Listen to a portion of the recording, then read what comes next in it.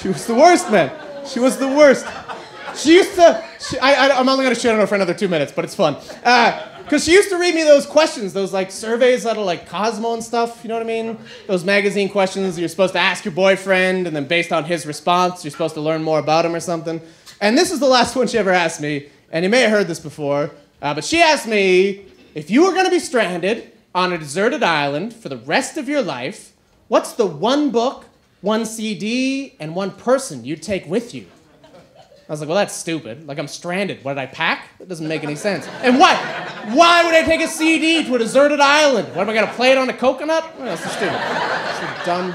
It's a dumb question. I'm not answering it. And she was like, well, I don't know about the book or the CD, but the person I would take would be you. And I was like, you selfish fucking bitch. Why would you do that to me? What, you gonna die, so I gotta die too? It's a deserted island. What are we gonna do? I don't know how to hunt. We're gonna be dead in a week. I mean, you're gonna be dead in a day, because I'm gonna murder you as soon as I get there. Uh, I'll be dead in a week. uh, so, you know, hopefully she's dead. Um, I don't really hope she's dead. I just, I don't hope that she's not dead. Um. If you don't like me, by the way, just don't. If you don't enjoy the show, just don't fight me afterwards, because I'm not a man. Uh, like I'm a man, but I'm not a man. you know what I mean? I'm not gonna fight. I'm just gonna cry and go home.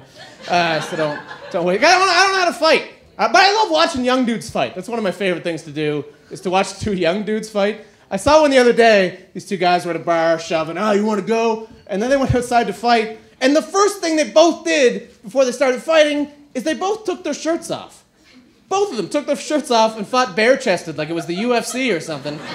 Such a weird opening move to just rip your shirt off. Like, like if I was having a fight with a guy and he took his shirt off, I would just take my pants off. Pants, underwear, everything. Be like, we're gonna do this or what? On. This erection's not gonna last forever. Oh, fight! You thought we were fighting? Fuck, that's awkward. I'm sorry. I just. I thought you were undressing. We were gonna make out or something. This is this is weird.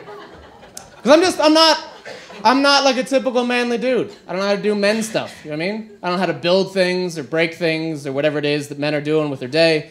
And it gets awkward because I still get asked to do manly shit sometimes.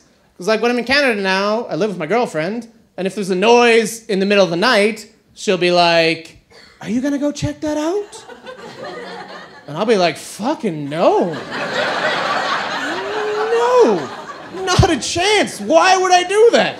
It's, not going to be something good. I, d- I doubt someone's breaking in to give us cake. No, no.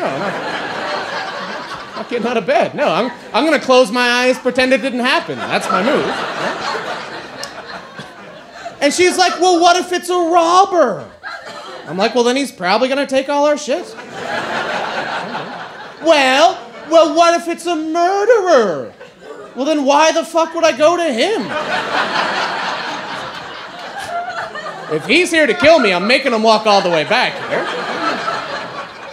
I'm not giving him a shortcut. Fuck that.